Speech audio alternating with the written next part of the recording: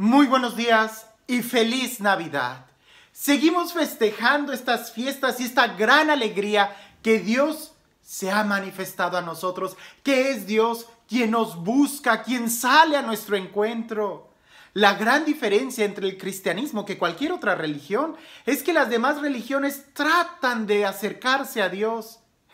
En nuestro caso nosotros decimos, es Dios quien siempre se ha acercado a nosotros. Es Dios quien sale a nuestro encuentro. Es Dios quien nos ama y que no solamente nos creó, sino que quiere que seamos amigos de Él. E incluso en la persona de su Hijo quiere que seamos hijos de Él. Quiere que seamos familia con Él.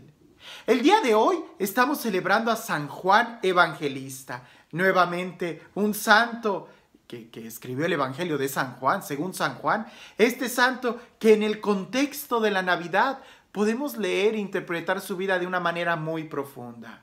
En la primera lectura vamos a encontrar que San Juan está diciendo frases como esta. Les hemos anunciado lo que hemos visto con nuestros ojos y tocado con nuestras manos. Esta vida se ha hecho visible, habla de Jesús, la vida se ha hecho visible y nosotros la hemos visto y somos testigos de ella. La vida, Dios mismo, el Eterno, se hace visible. Y San Juan dice, y nosotros lo hemos visto y somos testigos de esta vida. Pero en el Evangelio hay una frase muy pequeña, que es la que me hizo meditar mucho en esto. Dice que San Juan estaba corriendo cuando escuchó que se habían robado el cuerpo de Jesús en la tumba. Y empieza él a correr y llega un momento en donde él se detiene, no entra, entra Pedro, sale y después entra él y dice que vio el sepulcro vacío y creyó. Hasta que vio el sepulcro vacío, creyó. En ese momento Juan el evangelista no había entendido nada. A quien llamamos Juan el discípulo eh, amado, no había entendido nada de Jesús. Fue hasta que ve la tumba vacía que cree. El día de hoy muchos de nosotros, muchos, muchos, quisieran eh, poder tomar a Dios y analizarlo, tener pruebas de la existencia de Dios y analizarlas en el microscopio, tener a Dios y meterlo en, el, en, eh, pruebas experimentales. Tener a Dios y, y poder comprobar con un método experimental y científico su existencia. Y estoy seguro que aunque eso sucediera, seguirían igual. Porque los resultados que tú tienes que, que, tener, los resultados que tú tienes que ver y tocar con tus manos, no son los resultados que te arroja un microscopio, sino los resultados que te arroja tu corazón con esa experiencia que te hace ser testigo, que te hace tocar, ver, sentir, escuchar. ¿A qué me refiero? Que en lugar de estar mirando afuera, quizás lo que tendríamos que mirar es la tumba de nuestro corazón vacía. Y digo tumba, porque pareciese que nuestro corazón en lugar de ser un germen de amor, un germen lleno de esperanza, se convierte en un lugar de duelo, de tristeza, de angustia, y encima es tan grande que está vacío, un corazón vacío. Los discípulos pudieron comprobar que Jesús hacía milagros que Jesús era Dios. Ellos pudieron incluso tomar notas de cómo se iban desarrollando los milagros de Jesús, de cómo incluso los endemoniados se acercaban, los poseídos reconocían a Jesús, Jesús les daba una orden y estos se liberaban. E, e, iban llevando registro. Pero dice el Evangelio que Juan, aquel que estuvo tan cerca de Jesús incluso en el monte Tabor, que Juan no entendió nada porque los resultados que él tiene que ver, tocar, sentir, no son afuera de sus ojos, sino hacia adentro. Mirar hacia adentro.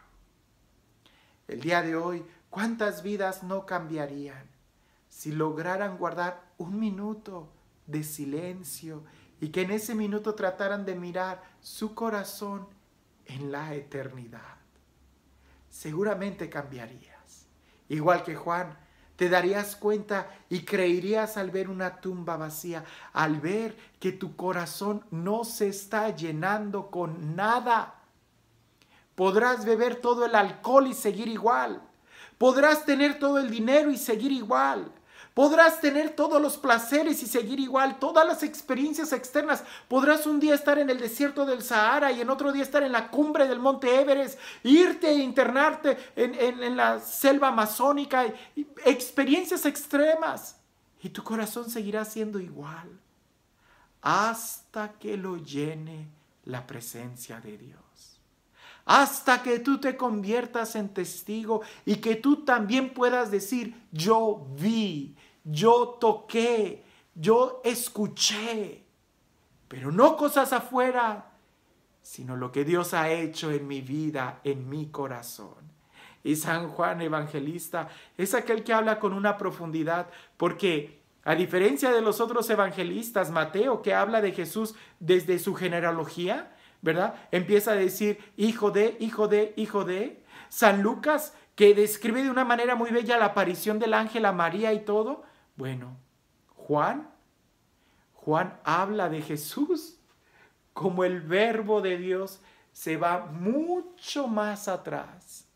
Se va desde el principio. En el principio existía la palabra y la palabra era estaba con Dios y la palabra era Dios.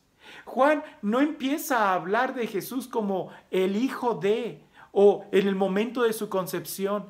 Eh, Juan tiene la experiencia en su corazón de que Él es el eterno.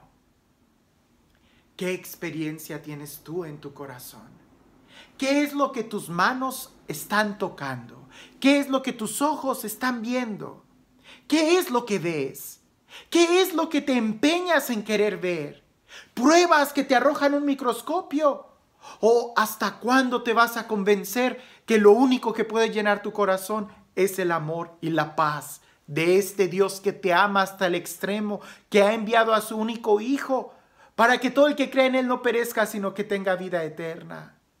Tú también corre al encuentro con Dios y que te sorprenda mirar esa tumba vacía para que te des cuenta que a, Jesús nadie lo contiene y Él es quien lo llena todo.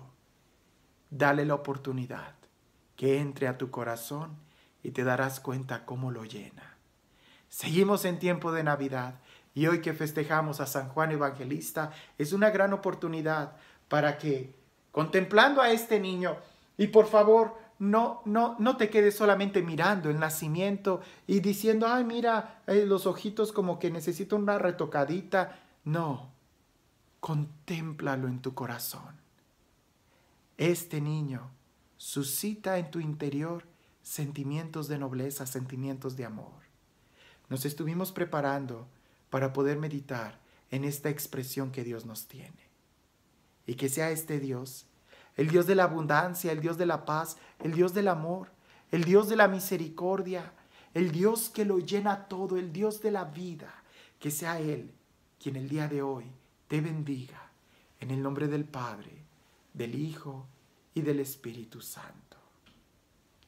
¿Hasta cuándo vas a querer comprobar la existencia de un Dios que te ama a través de un laboratorio, a través de un microscopio, o quizás a través de experimentos que tú hagas poniéndolo a prueba. Si me amas, que suceda esto.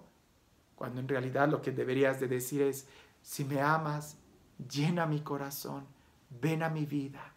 Y para eso tienes que invitarlo. Invítalo.